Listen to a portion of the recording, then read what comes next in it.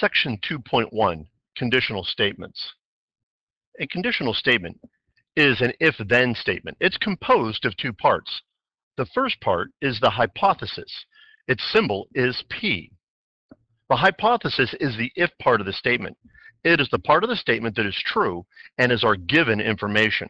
The conclusion, and its label is Q, the conclusion is the then part of the statement. This is the part that is to be determined.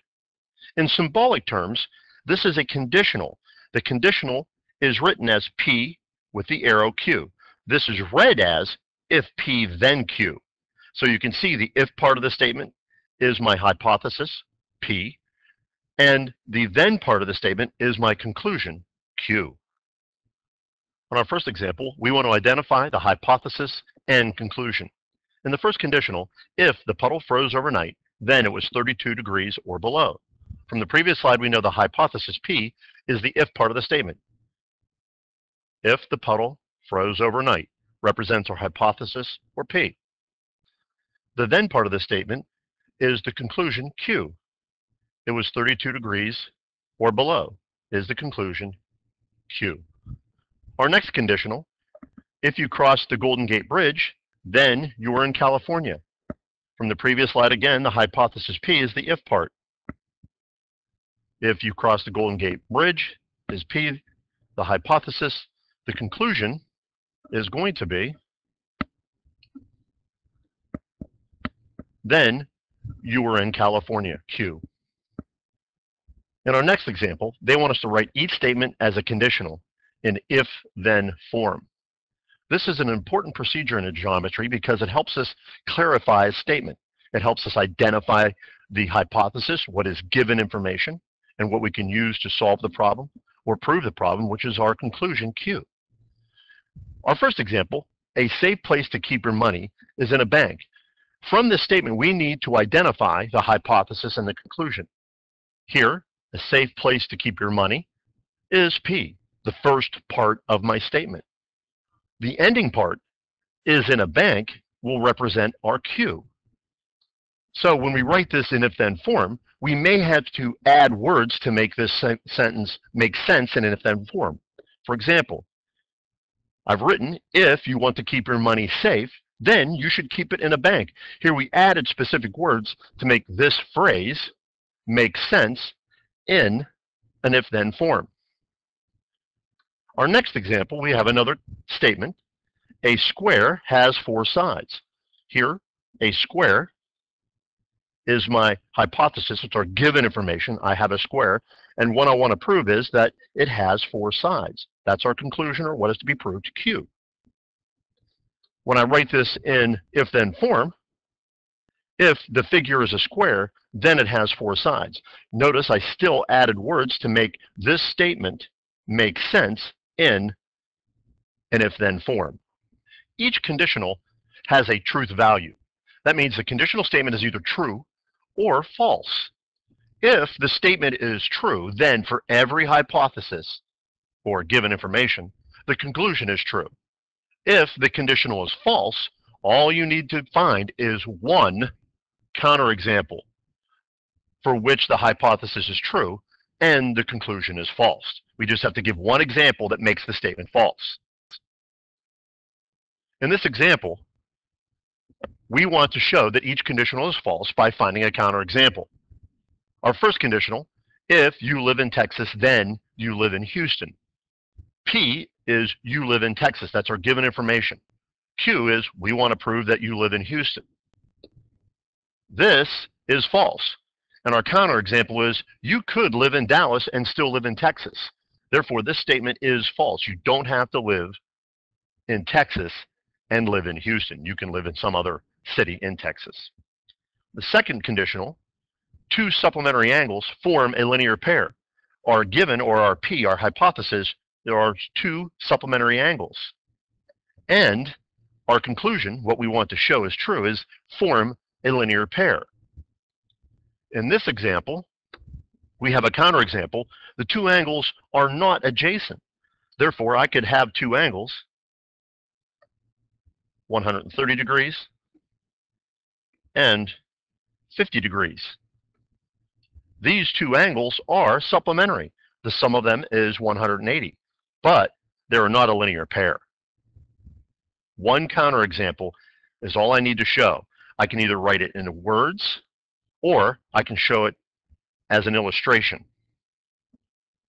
In this example, we want to draw a Venn diagram to illustrate each statement.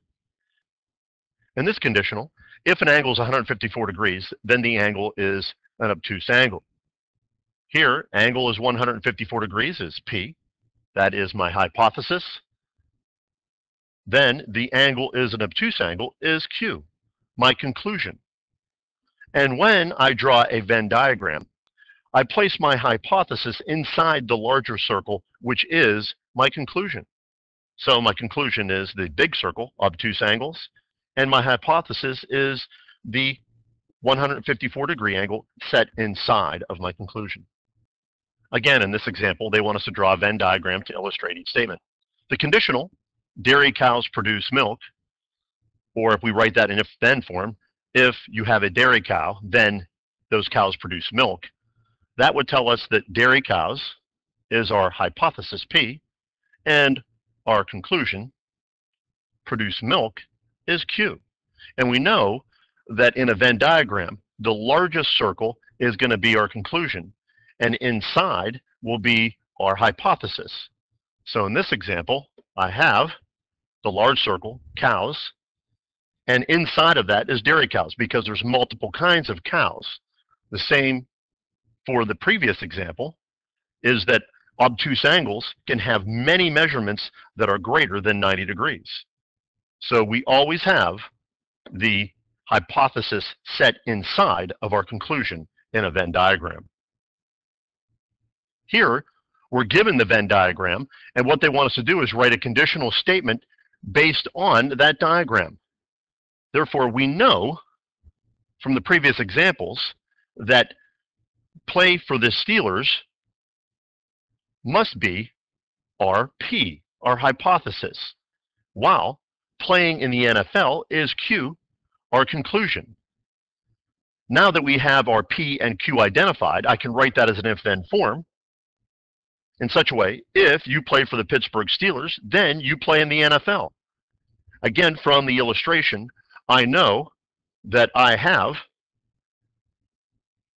my hypothesis and I have my conclusion. Our next slide has us defining the converse of a conditional. The converse switches the hypothesis and conclusion of a conditional statement. From a previous slide, we had symbolic terms of a conditional, and here I repeat that. A conditional is P, then Q. Of course, the arrow means then, and it's read as if P, then Q. When I write the converse of that conditional, all I do is I switch the conclusion and the hypothesis around. And now I have a statement that's read as if Q, then P. As before, we know that conditionals have truth values. Converses also have truth values. And the conditional and the converse don't always need to match up. In other words, they both don't have to be true and they both don't have to be false. One could be true and one could be false. On this slide, they want us to write the converse of each statement. Determine the truth value of each. Give a counterexample if false. Our first conditional, complementary angles form a right angle. Our P is complementary angles. Our Q form right angles is Q. And we can write that as if P then Q.